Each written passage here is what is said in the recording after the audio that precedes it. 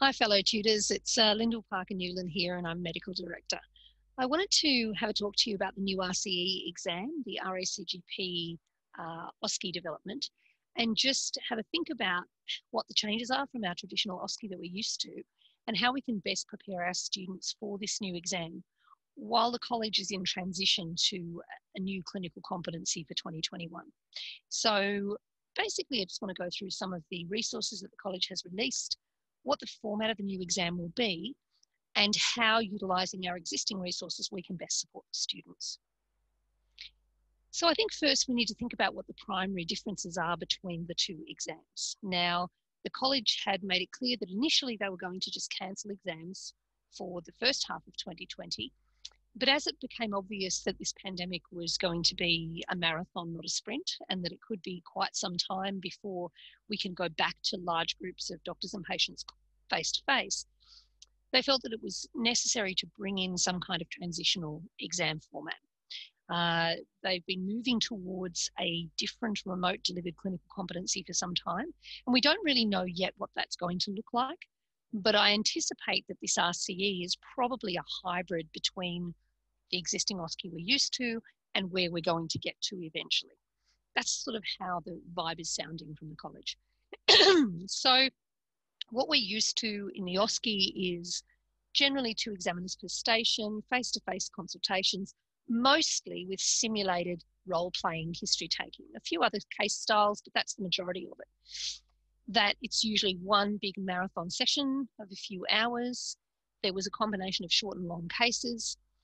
There was a standard three minute reading time for everything, and it was all matched to the core skills in the curriculum. So I think it's important to think about looking at those things, what's changed with the RCE. So, firstly, it's gone from two examiners back to one examiner per station. Um, and there may be some simulated case consultations, the role playing that we're used to, but that's no longer the majority of the exam. I'll talk in a moment a little bit about the case types we'll be doing it is much more in the way of case based discussion with examiners, which I think is actually a higher level thinking. Rather than just showing what they can do, there's a lot more discussion about why they're doing what they're doing. Um, all students are obviously remote delivery, so this can be done anywhere, and that decreases a lot of load on the students as far as travel and expense. It's delivered over three to four short sessions. Excuse me, and I'll have the dates on a, on a slide coming up.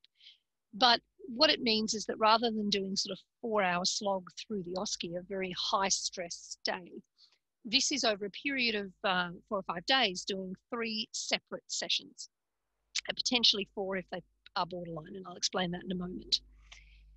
The all the cases are of equal length. They're all 10 minute cases, so uh, no shorts and longs. There's actually more reading time per case, up to five minutes per case in reading time, more time to think.